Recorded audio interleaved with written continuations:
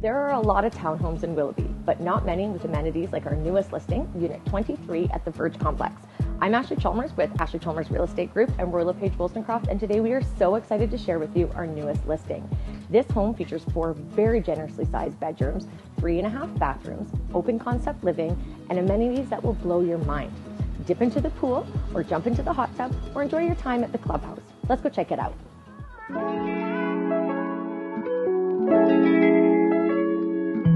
Yeah.